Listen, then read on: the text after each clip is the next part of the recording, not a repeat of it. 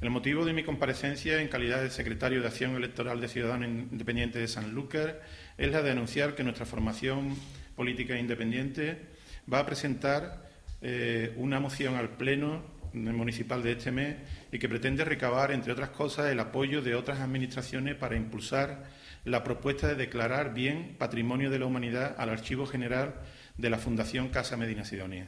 De sobra es conocida la importancia del Archivo General de la Fundación Casa Medina Sidonia, el legado que nos dejó Luis Isabel Álvarez de Toledo y Moura, que cuenta con más de 6 millones de documentos eh, reunidos en, en 6.300 legajos,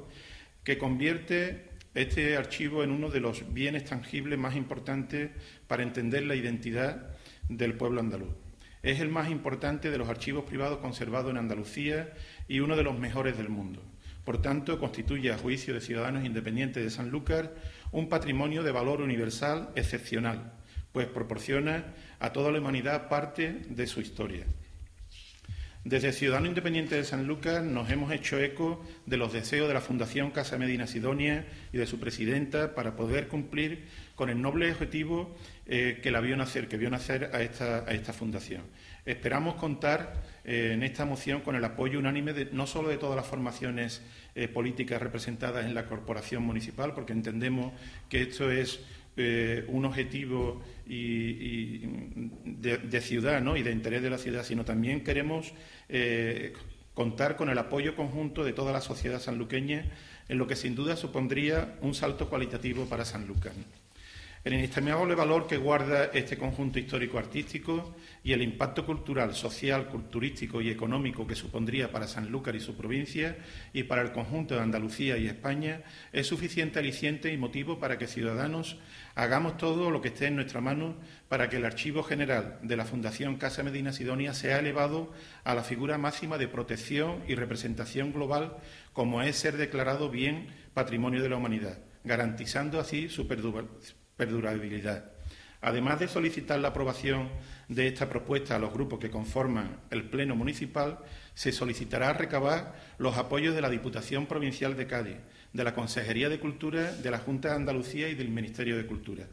También se instará a la Junta de Andalucía, a través de la Consejería de Cultura y Deporte, a iniciar el expediente que seleccione al Archivo General de la Fundación Casa Medina Sidonia como bien susceptible de ser inscrito como Patrimonio de la Humanidad por la UNESCO. Queremos terminar eh, reiterando que desde Ciudadanos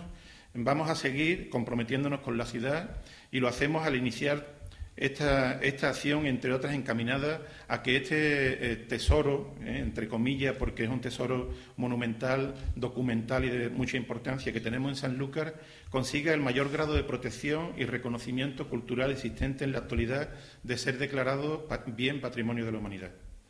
Muchas gracias. No sé si hay alguna, alguna pregunta. Señor Reyes, eh, buenos días. ¿Usted cree que que la moción que va a presentar CIS, en el caso de que se aprobara esto como bien cultural,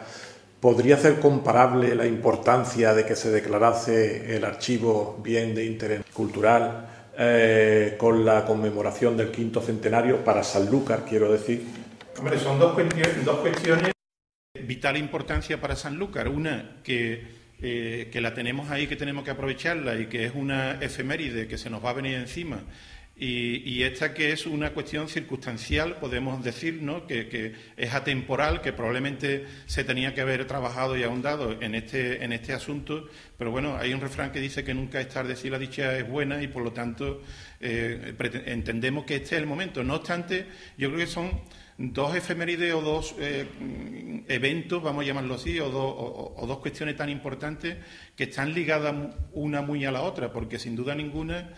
el patrimonio, los documentos que guarda el archivo de la Fundación Casa Medina Sidonia, cuenta pues muchas de las expediciones precisamente de los acontecimientos, no solamente eso, sino de, incluso de los, de los víveres que llevaban las expediciones, etcétera, etcétera. Seguramente entre el Palacio Ducal de Medina Sidonia y el Castillo de Santiago se fraguaron centenares de expediciones que partieron hacia el Nuevo Mundo. ¿no? Por lo tanto, yo creo que tiene una correlación, pero no obstante, ya digo, lo de la conmemoración del quinto centenario es una efeméride puntual que nos llega ahora entre el 2019 y 2022 y eh, el, declarar bien patrimonio de la humanidad eh, el Archivo General del Palacio Ducal de, de Medina Sidonia será una cuestión que nos perdure en el tiempo y para siempre y, por lo tanto,